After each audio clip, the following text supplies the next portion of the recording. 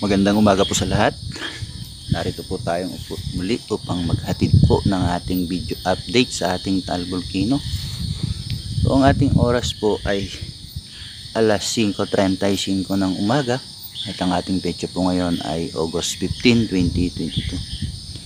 So muli po ay atin pong nasisilayan ang ating Taal Volcano ngayong umaga. Napasilangan naman po ang inilalabas nitong usok.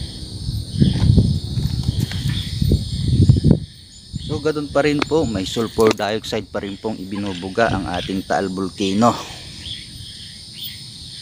O ano nga po ba ang sanhi na naidudulot ng ating sulfur dioxide o SO2? O may nakalap po akong ah, impormasyon kung ano ang mga maaaring epekto ng sulfur dioxide sa tao.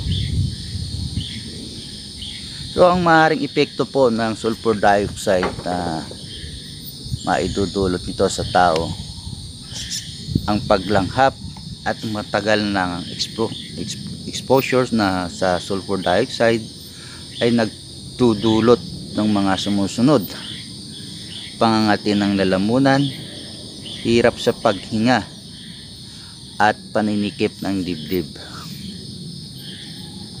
So paano po ba malalaman kung ikaw ay nakalanghap ng sulfur dioxide o asupre?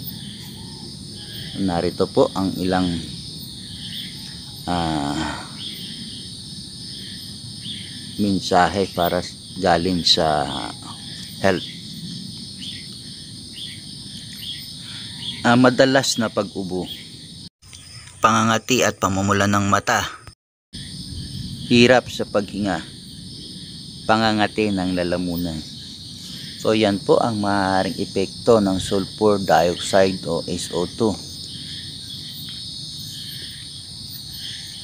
Ito naman po ang paunang lunas.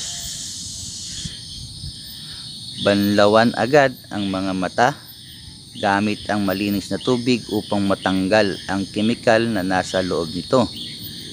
Sa balat naman po, kung napunta sa balat ang kemikal, hugasan agad ito ng malinis at maligamgam na tubig. Magpalit ng damit kung ito ay kontaminado ng asupre.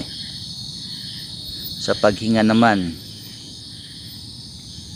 kung makalanghap ng mataas na konsentrasyon ng kemikal, dalhin ang pasyente sa lugar sa ligtas at malawak na lugar upang makalanghap ng sariwang hangin. Kung patuloy at makaranas ng hirap na paghinga, agad nadalhin sa pinakamalapit na pagamutan.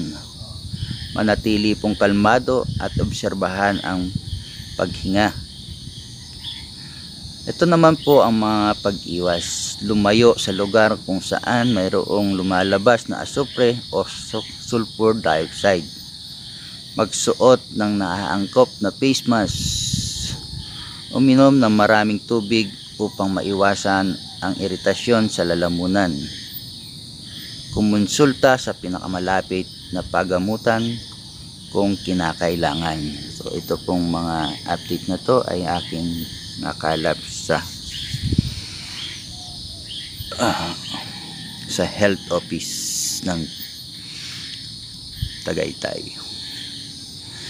So yun po ang ating simpleng update ngayong umaga. Hanggang dito na lamang po ang aking video update.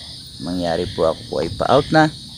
Muli po ah, na an- ano inaabisuhan ng lahat na iwasang makalanghap ng asupre na nagmumula sa Taal Volcano. So hanggang dito na lamang po. Maraming maraming salamat and God bless.